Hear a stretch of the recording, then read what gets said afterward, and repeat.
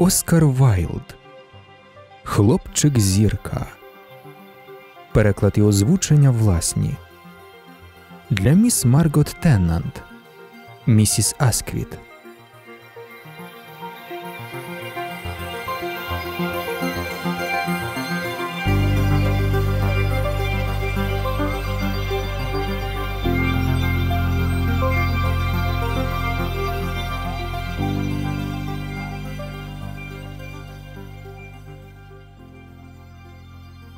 Якось двоє бідних лісорубів поверталися додому через великий сосновий ліс. Була ніч і люта зима, сніг густо вкривав землю і гілля дерев, мороз все потріскував у гілках обабіч шляху, а коли лісоруби дійшли до гірського потоку, той висів нерухомо в повітрі, бо його поцілував крижаний король.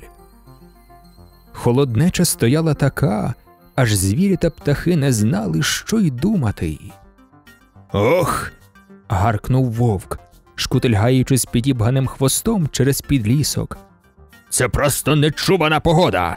Чому влада нічого не робить? Фіть фіть фіть. щебетали зелені коноплянки. Стара земля померла і її одягнули в білий саван.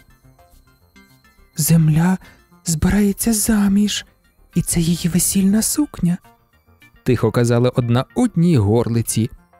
Їхні маленькі рожеві лапки геть задобіли від морозу, але вони вважали своїм обов'язком дивитися на ситуацію романтично. Дурниці. загарчав вовк. Кажу вам, у всьому винна влада. А якщо не вірите, я вас з'їм. Вовк мав цілком практичний розум і легко знаходив вагомі аргументи. Що ж, особисто мені, мовив дятел, природжений філософ, начхати на такі пояснення.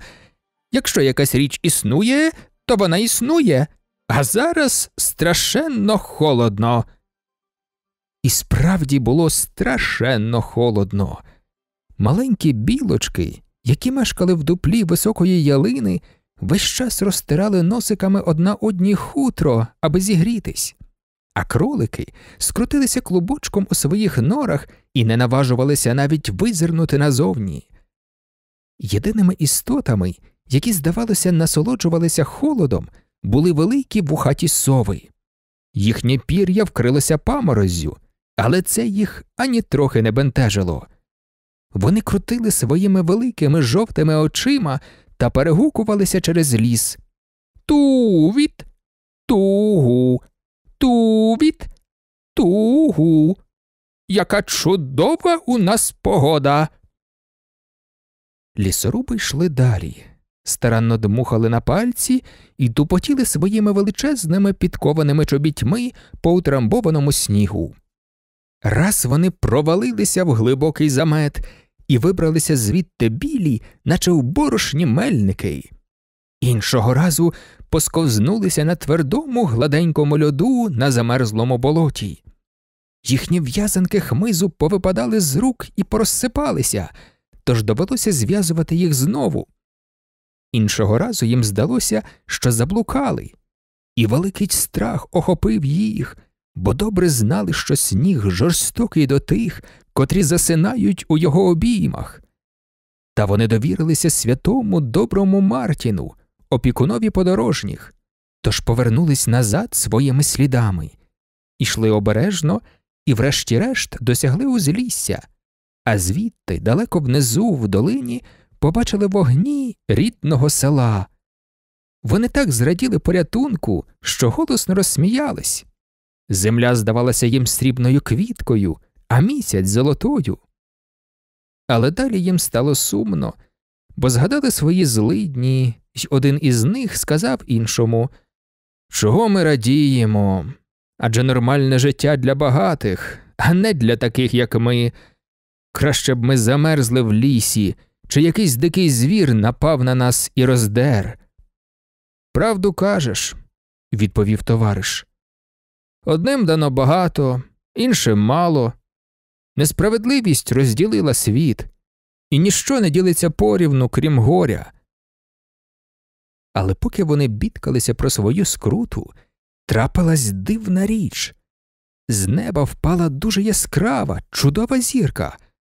Вона ковзнула небосхилом, оминаючи інші зірки, і поки вони зачудовані спостерігали, їм здалося, ніби вона опустилася за верболозами, що росли неподалік. Ого, там же може бути золото. вигукнули вони і побігли, бо дуже хотіли здобути його. Один з них біг швидше за свого товариша і випередив його. Він продерся через верболози й о диво. Справді, на білому снігу лежала якась золота річ. Він підскочив до неї, нахилився, торкнувся і виявив, що то був складений у багато шарів плащ із золотої тканини, розшитий дивовижними зірками.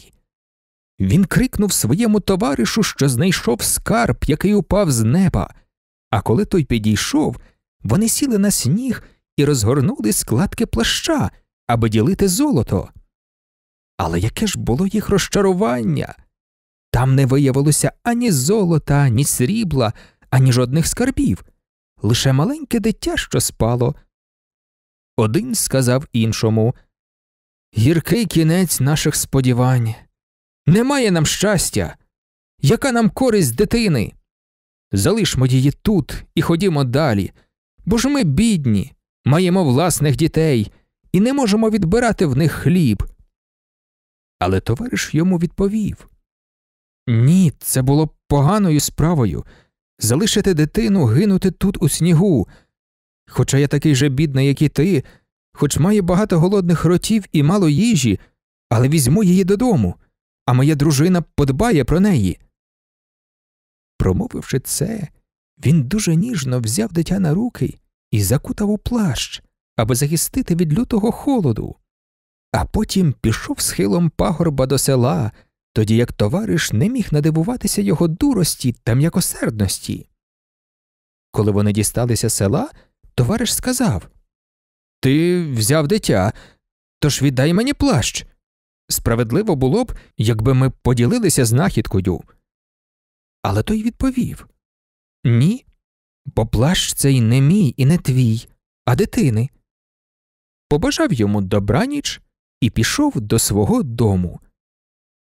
Коли дружина відчинила двері й побачила, що її чоловік повернувся цілим і неошкодженим, вона обвела його шию руками та поцілувала, зняла зі спини в'язанку хмизу, змила сніг щобіт і запросила увійти. Але він сказав їй Я знайшов дещо в лісі і приніс тобі, аби ти подбала про нього. Та продовжував стояти на порозі. Що це? Вигукнула вона. Покажи мені, бо вдома у нас стільки всього не вистачає. Він відгорнув плащ і показав їй сонне дитя. Ох, чоловіче, пробурмотіла вона. Хіба у нас нема своїх дітей, щоб ти приносив підкидьків? І хто зна, чи не накличе вона на нас нещастя? Як нам його прогодувати? І вона дуже розгнівалася на нього. Це хлопчик зірка, сказав він та розповів про дивовижну знахідку. Але вона не заспокоювалась, а глузувала та сердилась. Нашим дітям бракує хліба, а тепер маємо годувати чуже? Хто подбає про нас? Хто дасть нам їжі? Але ж Бог дбає навіть про горобців і годує їх, відповів він. Хіба горобці не вмирають взимку з голоду? Спитала вона. І хіба зараз не зима? Чоловік нічого не відповідав, але й не переступав порога. Тут різкий вітер з лісу увірвався крізь відчинені двері. Вона задрижала і сказала Чому ти не зачиниш двері? Дме холодний вітер, і я змерзла. Хіба в дім, де серце жорстоке, не входить завжди холодний вітер? Спитав він. Жінка нічого не відповіла, але підійшла ближче до вогню. А за якийсь час вона обернулась і глянула на нього, а очі її були повні сліз. Тоді він швидко увійшов і передав дитя їй на руки. Вона поцілувала його і вклала у маленьке ліжечко, де спав їхній найменший синочок. Вранці дроворуб сховав дивовижний золотий плащ у велику скриню, а його дружина зняла бурштинове намисто, що було на шиї в дитини, і поклала туди ж. Таким чином, хлопчик зірка почав жити разом з дітьми дроворуба, їв з ними за одним столом і був їхнім товаришем в іграх. І з кожним роком він ставав усе гарнішим, та так, що всі жителі села дивувалися, бо були вони смагляві й темноволосі, а він білий і ніжний, мов різьблений зі слонової кістки, а кучері його були схожі на завитки золотих нарцисів. Уста його були, наче пелюстки троянди, а очі, як фіалки біля чистого струмка, тіло його, як нарцис у полі, де не ступала нога косаря. Але ця краса принесла йому лихо, бо виріс він гордим, жорстоким і себелюбним. Дітей дроворуба та інших селян він зневажав, кажучи, що вони низького походження, тоді як він шляхетний, бо походить від зірки. Він верховодив ними і називав їх своїми слугами, не мав жалю до бідних, до сліпих, калік чи інших обділених людей, а кидав у них камінці і гнав їх геть, наказуючи жебрати хліб деінде, так що ніхто, крім розбійників, не повертався більше до того села просити милостиню. Він був зачарований своєю вродою і глузував з немічних та незугарних, виставляв їх на посміховисько. Себе ж він любив, і влітку, коли вітри вщухали, лежав біля криниці в саду священника і споглядав власну вроду, сміявся з утіхи, милуючись собою. Дроворуб і його дружина часто докоряли йому, кажучи ми ж не повелися з тобою так, як ти поводишся з тими, хто самотній і кому потрібна допомога. Чому ти такий жорстокий до всіх, кому потрібне співчуття? Часто старий священник кликав його до себе і намагався навчати любові до живих істот, кажучи Муха, твоя сестра, не завдавай їй шкоди. Дикі лісові птахи повинні бути на волі, не лови їх задля втіхи. Бог створив змію сліпуна й крота, і кожен з них займає своє місце. Хто ж ти такий, аби нести біль у світ Божий? Навіть худоба в полі славить його. Але хлопчик зірка не зважав на ці слова, він лише супився і глузував, а потім повертався до своїх ровесників і знову верховодив ними. Його товариші підкорялися, бо він був вродливий і протконогий, умів танцювати й співати, ще й грав на сопілці. І куди б хлопчик зірка не повів їх, ішли слідом. Щоб він не наказав їм зробити, вони виконували. Коли він виколював гострою тростиною каламутні очі крота, вони сміялися. Коли він кидав камінців прокаженого, вони реготали. Він завжди керував ними, і вони стали такими ж безсердечними, як і він. І ось одного дня через село проходила бідна жебрачка. З одягу в неї були самі лахміття, ноги скривавлені від довгої дороги, і виглядала вона просто жалюгідно. Втомилась і сіла під каштаном відпочити. Коли хлопчик зірка побачив її, сказав своїм товаришам Гляньте, он сидить бідна жебрачка під гарним зеленим деревом. Ходім, виженем її звідси, бо вона потворна і бридка. Він підійшов ближче і став кидати в неї камінцями та глузувати, а вона дивилася на нього з жахом в очах і не зводила погляду. Коли дроворуб, що неподалік на подвір'ї колов дрова, побачив, що робить хлопчик зірка, він підбіг і вилаяв його, сказавши У тебе воістину жорстоке серце, ти не знаєш милосердя. Яке ж зло заподіяла тобі ця бідна жінка, що ти з нею так поводишся? Хлопчик зірка почервонів з гніву, тупнув ногою і сказав А хто ти такий, щоб докоряти мені за мої вчинки? Я не твій син і не мушу тебе слухатись. Правду кажеш, мовив дроворуб. Але ж я змилосердився над тобою, коли знайшов у лісі. Коли жінка почула ці слова, вона голосно скрикнула і знепритомніла.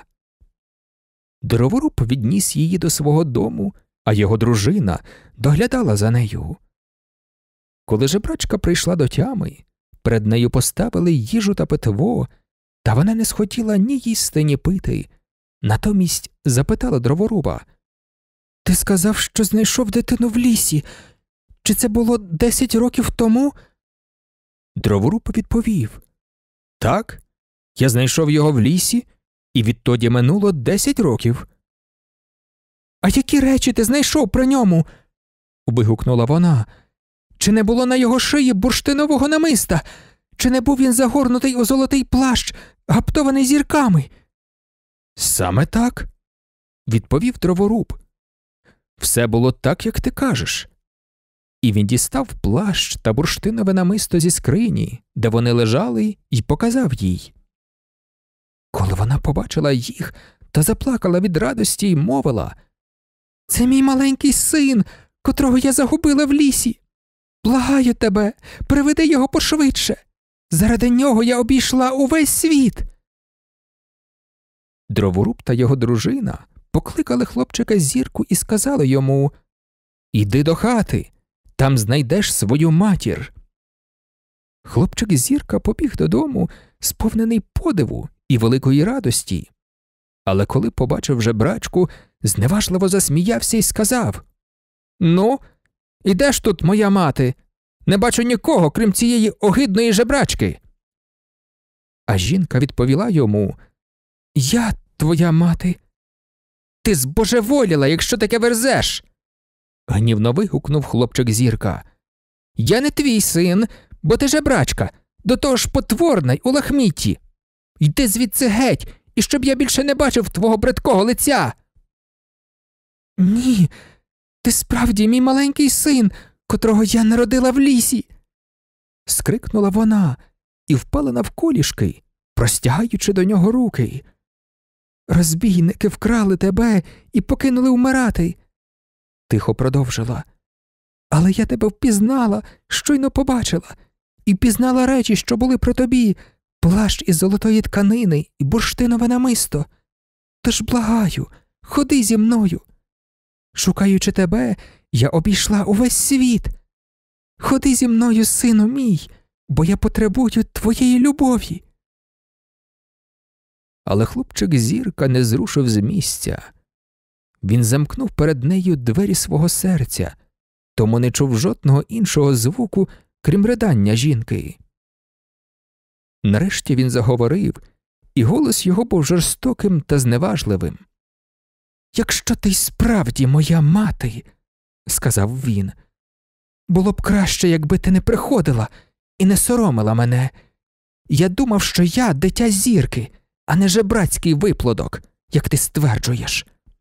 Забирайся звідси, і щоб я тебе більше не бачив. Ох, сину мій. вигукнула вона. Невже ти не поцілуєш мене перед тим, як я піду? Я так багато перестраждала, поки знайшла тебе. Ні, сказав хлопчик зірка. Ти надто огидна, щоб навіть дивитись на тебе. Я радше поцілую гадюку чи жабу.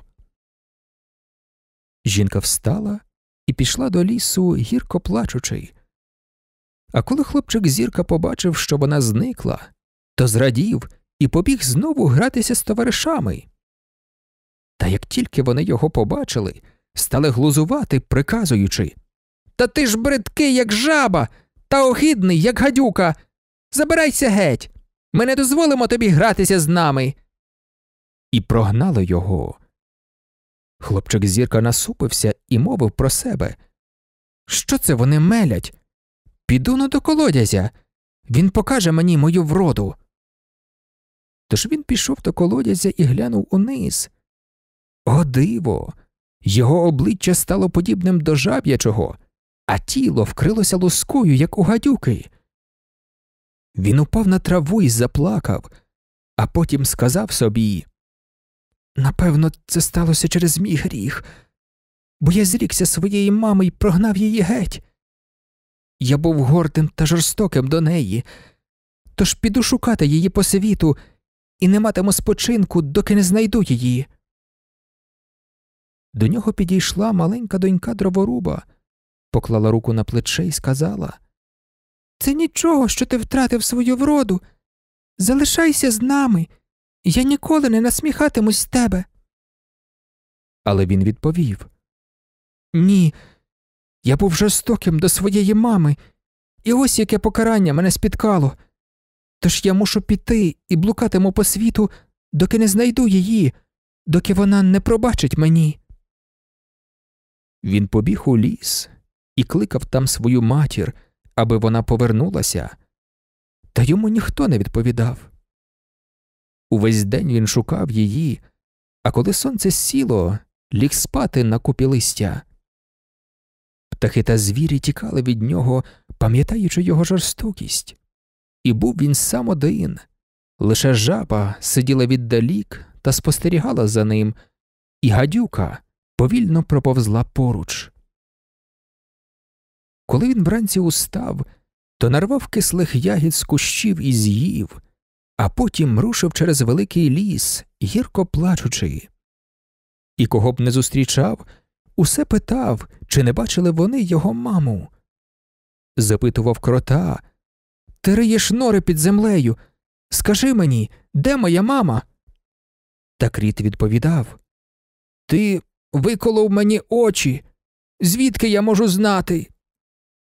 Він питав коноплянку Ти літаєш над кронами високих дерев і бачиш увесь світ. Можеш відшукати мою маму. Та коноплянка йому відповідала Ти підрізав мені крила задля власної втіхи. Як я можу тепер літати? І маленьку білочку, що жила самотньо на ялині, він запитував Де ж моя мама? Та білочка відповідала Ти вбив мою маму. Чи шукаєш свою, щоб убити теж? Хлопчик зірка заплакав, схилив голову і просив прощення у божих створінь, а потім рушив далі через ліс у пошуках жебрачки. На третій день він вийшов по інший бік лісу і спустився в долину. Коли він проходив через села, діти глузували з нього і кидалися камінцями, а селяни не дозволяли йому навіть спати в стайнях, боячись, що він може принести цвіль на збіжжя. Такий він був бридкий. Їх наймити проганяли його, і не було нікого, хто б над ним змилосердився. Ніде він не чув про жебрачку, що була його матір'ю, хоч три роки блукав по світу, і часто здавалося йому, що бачить її попереду на шляху. Тоді він кликав і біг за нею, доки гострі кремані наранили до крові ноги. Все ж наздогнати її не міг, а ті, хто жив обабіч дороги, завжди заперечували, що бачили когось схожого на неї, ще й насміхалися з його горя. Три роки він блукав усюдами, і в світу не було до нього ні любові, ні поблажливості, ні милосердя. Але цей світ він сам створив у часи своєї великої гордині. Одного вечора він дійшов до брами міста, котре стояло на березі річки і було оточене міцними мурами. Хоч він був стомлений, і підошви його ніг були стерті, спробував увійти. Вартові, які стояли біля брами, схрестили свої алебарди і грубо сказали Якого чорта ти прешся до міста? Я шукаю свою маму, відповів він. І благаю, дозвольте пройти, бо, може, вона саме тут. Але вони насміхалися далі, й один із них, потрясаючи чорною бородою, виставив свій щит і вигукнув Воістину, твоя мати не зрадіє, побачивши тебе, бо ти бридкіший за болотяну жабу чи гадюку, що повзає в очереті. Забирайся звідси геть. Геть! Немає твоєї матері в нашому місті. а інший, котрий тримав у руці жовтий прапор, запитав Хто твоя мати? І чому шукаєш її? І хлопчик зірка відповів Моя мати жебрачка, як і я. Колись я повівся з нею жорстоко. Благаю вас, дозвольте мені пройти, аби вона, якщо вона тут, могла б дарувати мені прощення. Але вартові не захотіли його впустити і зневажливо поколювали своїми списами. Коли він відвернувся, плачучи, підійшов один з воїнів, чий обладунок був прикрашений золотими квітами, а на його шоломі сидів крилатий лев, і запитав вартових, хто це проситься до міста. Ті сказали йому Якийсь жебрак і син жебрачки. Ми проганяємо його. Є краща ідея. вигукнув воїн, сміючись. Ми продамо це бридке створіння в рабство, і за ті гроші купимо собі солодкого вина. Якийсь старий і злий на вигляд чоловік, що якраз проходив мимо, крикнув Я куплю його. І коли заплатив, узяв хлопчика зірку за руку і повів до міста. Після того, як вони пройшли багатьма вулицями, підійшли до маленьких дверей, вставлених в стіну, оповиту гранатовим деревом. Старий торкнувся дверей перснем із різьбленим яспісом, і ті відчинилися. Вони спустилися п'ятьма бронзовими сходинками в сад, повний чорних маків та зелених глечиків з опаленої глини. Тоді старий витяг зі свого тюрбана шарф із візерунчастого шовку, зав'язав ним хлопчику зірці очі і повів його перед собою. Коли шарф було знято, хлопчик зірка побачив, що він у в'язниці, освітленій з надвору ліхтарем. Старий поставив перед ним на дерев'яній таці трохи зацвілого хліба і сказав Їж. Трохи затхлої води в чашці і сказав Пий. І коли той поїв і попив, старий вийшов, замкнувши двері на залізний засув.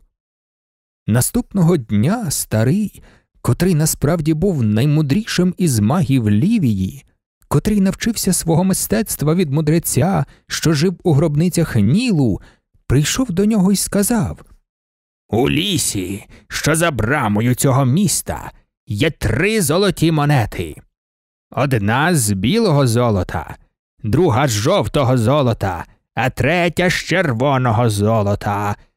Нині ти маєш принести мені монету з білого золота, а якщо не принесеш, я почастую тебе сотнею канчуків. Рушай негайно, а на заході сонця повертайся до дверей саду. Але дивись, щоб приніс монету з білого золота, інакше тобі буде зле, бо ти мій раб, і я купив тебе за ціну солодкого вина. Він зав'язав очі хлопчику зірці шарфом з візерунчастого шовку і повів його через будинок та через сад маків угору п'ятьма бронзовими сходинками і, відчинивши маленькі двері своїм перснем, випустив його на вулицю. Хлопчик зірка вийшов за браму міста і вступив до лісу, про який згадував чаклун. Ліс цей здалеку здавався дуже гарним, повним співучих птахів та запашних квітів, і хлопчик зірка з радістю занурився в нього.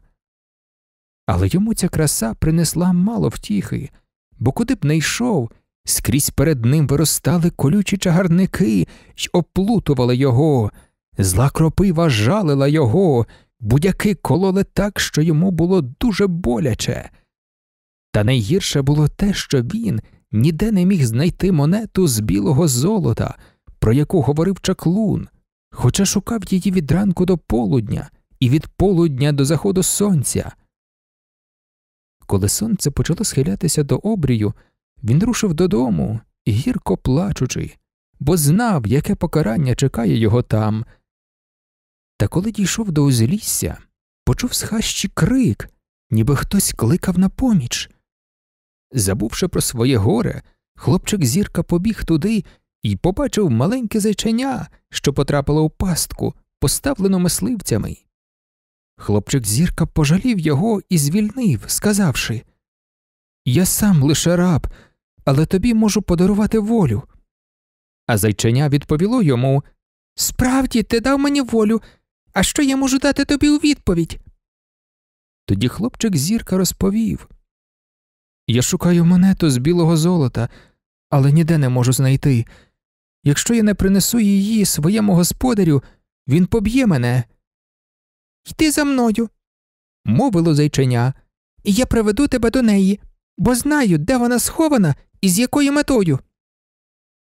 Тож хлопчик зірка пішов за зайченям, і ось у дуплі великого дуба він побачив монету з білого золота, яку й шукав.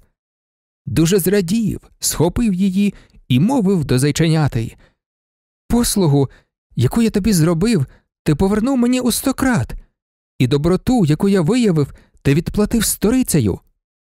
Зовсім ні, відповіло зайченя. Як ти повівся зі мною, так і я з тобою. І пострибало собі геть, а хлопчик зірка пішов до міста. Там біля міської брами сидів прокажений. Його обличчя було закрите сірим ляним каптуром, а крізь прорізи було видно очі, червоні, мов жарини. Коли він побачив хлопчика зірку, застукав своєю дерев'яною мискою, задзвонив у свій дзвінок і гукнув до нього Дай мені грошей, бо я помру з голоду. Мене вигнали з міста і нікому немає до мене діла. Мені так прикро, відповів хлопчик зірка. У мене є лише одна монета, але якщо я не принесу її моєму господарю, то він поб'є мене, бо я тільки його раб. Та прокажений умовляв його далі, аж поки хлопчик зірка не змилувався і не віддав йому монету з білого золота. Коли він прийшов до будинку чаклуна, той відчинив двері і впустив його, питаючи Чи приніс ти монету з білого золота? І хлопчик зірка відповів Не приніс. Тоді чаклун накинувся на нього і жорстоко побив, після чого поставив перед ним порожню миску і сказав Єш. Та порожню чашу і сказав Пий. І замкнув його у в'язниці. Наступного дня чаклун прийшов знову і мовив Якщо сьогодні ти не принесеш мені монету жовтого золота, я й далі утримуватиму тебе як раба, і ти дістанеш триста канчуків. Тож хлопчик зірка пішов до лісу і цілісінький день шукав монету з жовтого золота, але ніде не міг її знайти. На заході сонця він сів і заплакав. Коли він так плакав, до нього наблизилось мале зайченя, яке він урятував з пастки. І зайченя спитало його Чому плачеш? І що знову шукаєш в лісі? Хлопчик зірка відповів Я шукаю монету жовтого золота, яка десь тут схована. Якщо не знайду її, мій господар поб'є мене і далі триматиме як раба. Йди за мною. гукнуло зайченя і пострибало через ліс, аж поки не досягло ставка, а на його дні лежала монета з жовтого золота. Як же я можу віддячити тобі? мовив хлопчик зірка. Адже це вже ти вдруге мені допомагаєш. Ти ж змилосердився наді мною, відповіло зайченя і пострибало собі геть. Хлопчик зірка взяв монету жовтого золота, поклав її в гаманець і поспішив до міста. Але прокажений знову побачив, як він йде, побіг йому назустріч і, впавши навколішки, зарепетував Дай мені трохи грошей, бо я вмираю з голоду. Та хлопчик зірка сказав йому У мене в гаманці тільки одна монета з жовтого золота, якщо я не принесу її моєму господарю, він поб'є мене і далі триматиме як раба.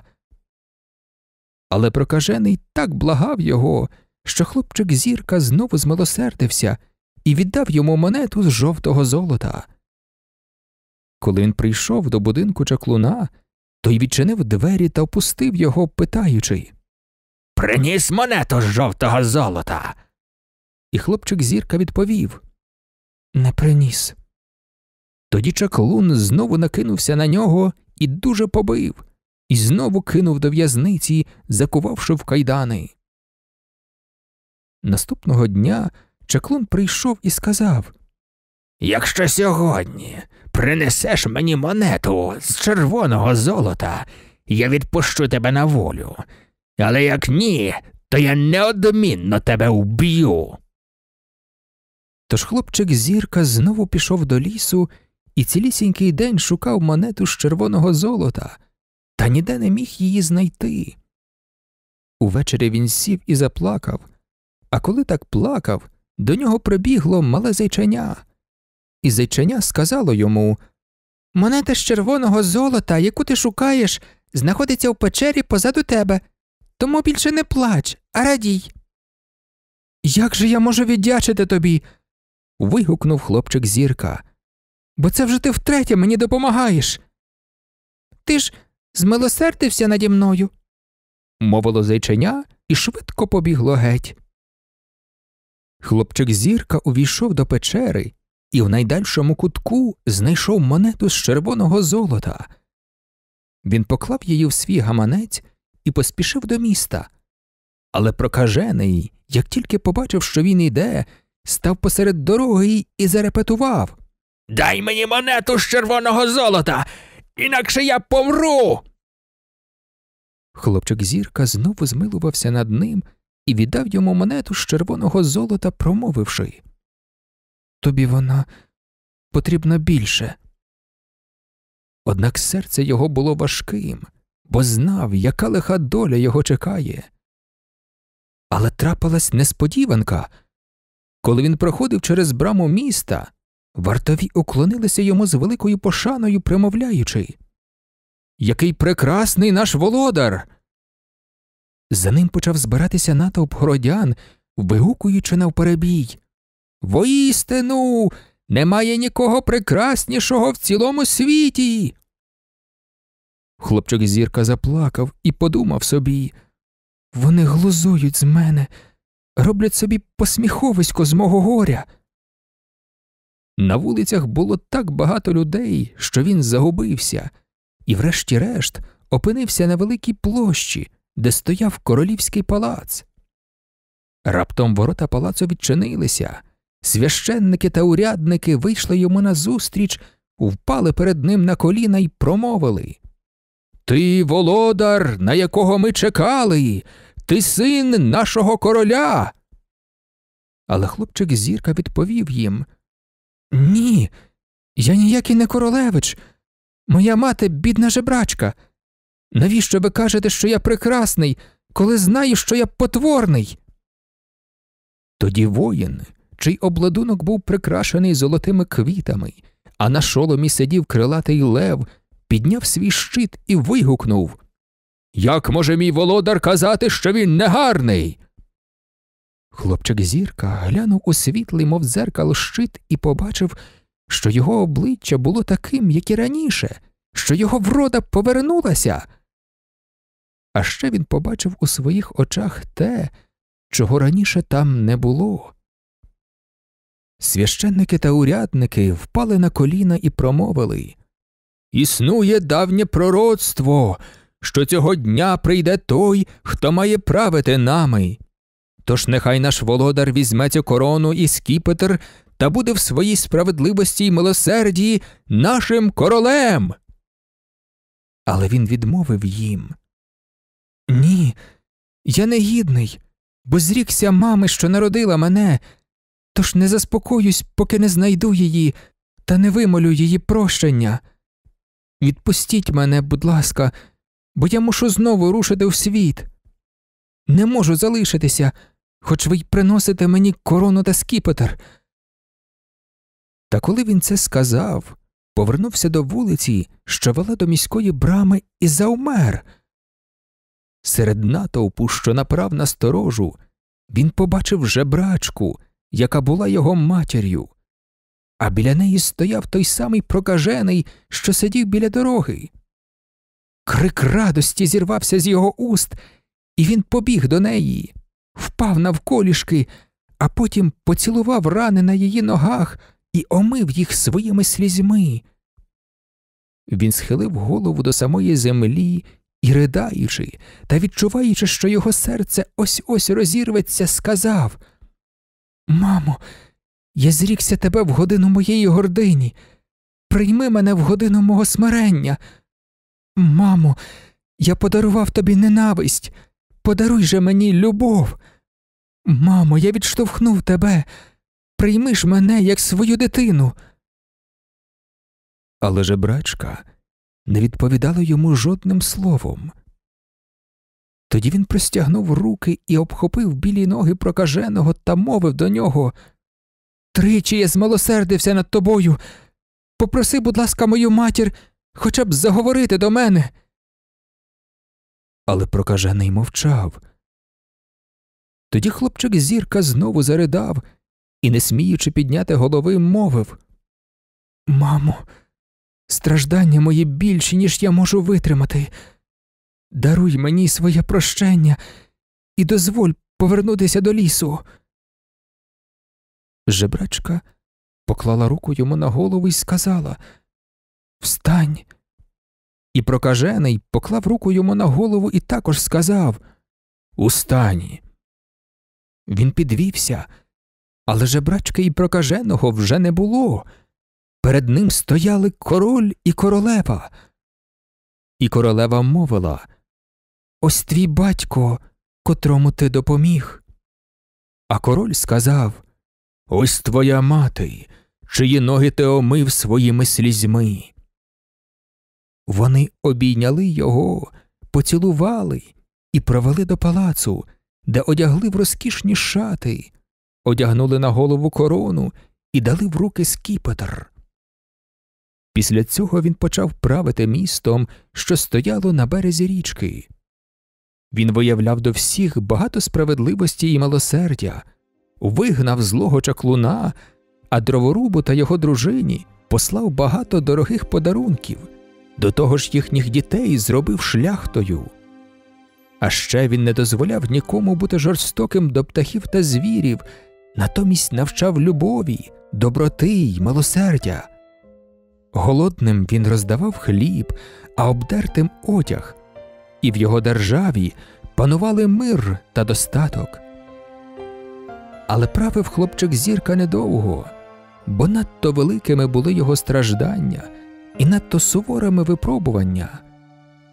Вже через три роки він помер, а той, хто прийшов опісля, правив жорстоко.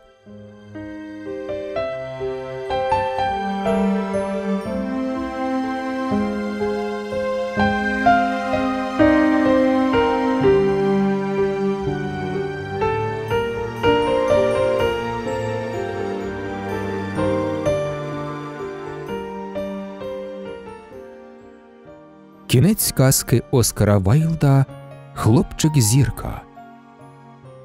Для вас переклав її і озвучив характерник. Запис здійснено у жовтні 2024 року. Якщо вам подобаються мої аудіокниги, можете підписатися на канали з ними в Ютубі і Телеграмі.